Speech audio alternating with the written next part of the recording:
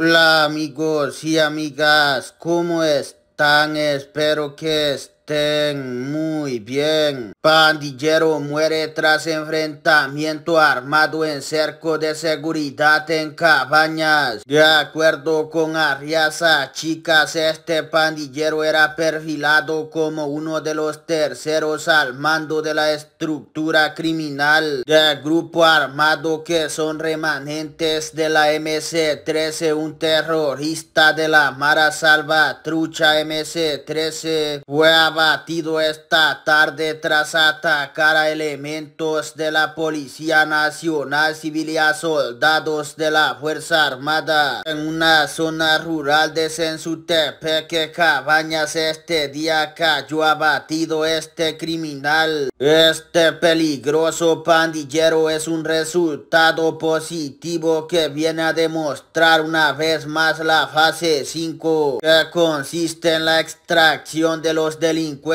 más peligrosos que pueden estar asediando a las comunidades, dijo el director de la Policía Nacional Civil Mauricio Arriaza. Chicas, de acuerdo con Arriazas, este pandillero era perfilado como uno de los terceros al mando de la estructura criminal del grupo armado que son remanentes de la MC-13. Se trata de alias Sebo, quien murió ayer tarde tras enfrentamiento contra elementos de las autoridades durante cerco de seguridad por el sector del río Lempe en el Huiscoyol. Objetivo de interés policial, este pandillero ya era objetivo de interés policial antes de que lo mataran. Hay imágenes en redes sociales donde aparecen estos delincuentes de cabañas armados hasta los dientes con varios cargadores y M16 a estos pandilleros ya los andaban buscando antes del enfrentamiento armado. Aquí les voy a dejar unas imágenes de cómo estos pandilleros hasta se vestían de militares, amenazando a los policías y soldados que los quieren capturar en el cerco de cabañas. Uno de estos objetivos de interés policial ya cayó en manos de la justicia, pero no se quiso ir para la cárcel es por eso que lo agarraron a balazos. Porque intentó matar a los agentes policiales y estos se defendieron. Las imágenes se puede ver como estos delincuentes salen rifando sus pandillas. Todavía faltan otros tres que capturar que salen en las imágenes. Cae responsable de quitarle la vida a Panadero en Hilo Vasco gracias al cerco Cabañas. Vigilaba los movimientos policiales y asesinaba en nombre de la pandilla. Con la ejecución de cerco Cabañas, autoridades reportan la captura de Brian Enrique Reyes Torres alias Pacas. Pandillero de la 18 es responsable del homicidio de un panadero en Hilo Vasco. Este sujeto enfrentará todo el peso de la justicia